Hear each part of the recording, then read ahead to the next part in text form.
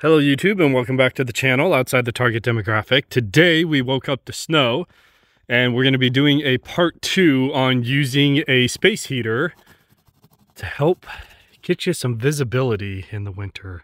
Let's get started.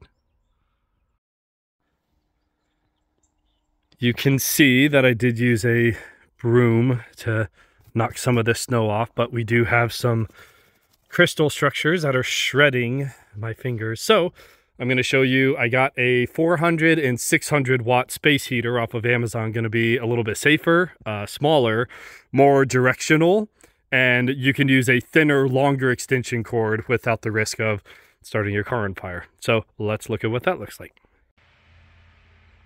It is currently 30 degrees out here, and you can see visibility is not so great.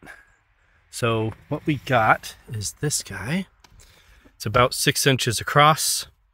And what I have found is putting it in between your driver and passenger seat, the heat will blow up against the windshield and melt more the place you want higher visibility, right? Versus the last one I showed in a previous video was in the trunk. And while it did put out more heat, it wasn't directional. So you're heating up the whole cabin versus maybe focusing a little bit more on the windshield, which uh, you will absolutely be using, as opposed to favoring the rear windows, which are arguably less important. So the other nice thing here is since it is so small and directionable, that's a word, I can put it on the dash, and I have, and it has uh, cleared like a triangular pattern as it goes across. I would use the lower 400 watt setting on that. But this is now coming out of your driver's side, and it is far less likely for you to uh, drive away with that connected because one you can hear it right? It's right next to you as the driver. And then two you have the cord going into your driver's side door as opposed to putting it in the trunk. So we're going to let that run for about a half hour and see what it does. We are 30 minutes later and it's kind of weird. It made less of a difference on mine but hers that I plugged in at the same time has, I mean, a third of the window clear. And that's one of the other nice benefits here is my car does not have the eyesight system, but hers does. So she has an optical camera here and here, and that's going to give you the um, driving safety suite kind of thing. So just by having her fan there blowing this is still cold to the touch, just so we're clear. It doesn't blow directly across. It's going to go up with, uh, you know, the heat kind of thing. But you can see we have rolling water. So it is thawing.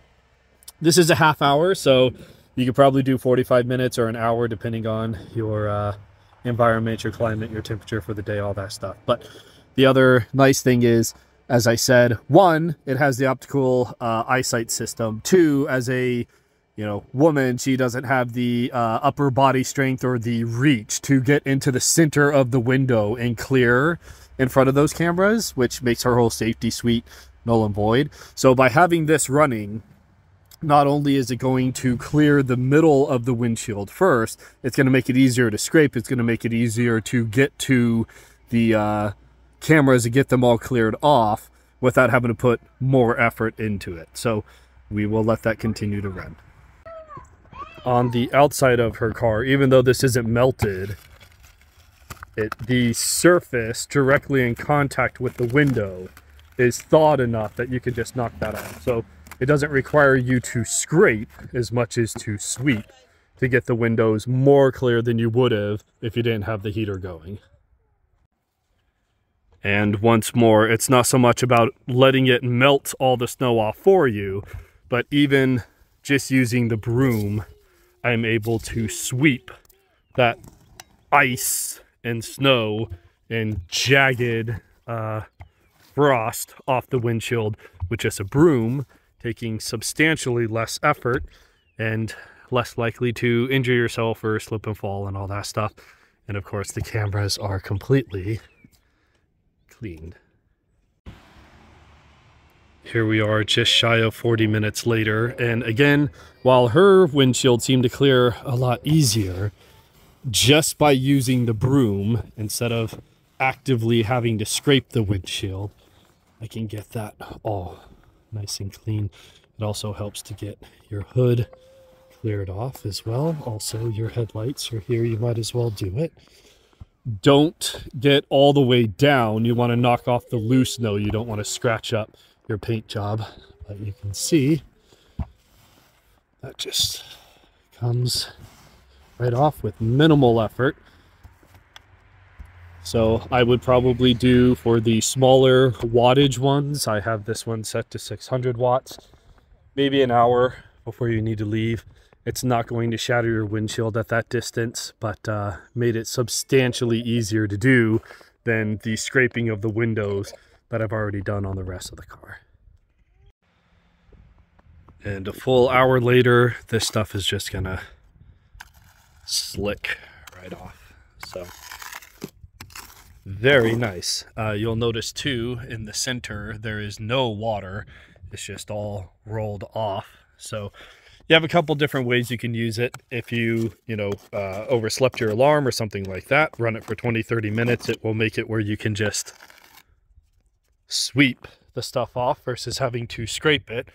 Wait a full hour and you'll just be able to knock this stuff off and it'll prevent any accumulating snow that's currently falling from sticking to the windshield. So that's what we have for today. As always, this is outside the target demographic. I appreciate you guys stopping by. Any questions, comments, concerns you have, leave them in the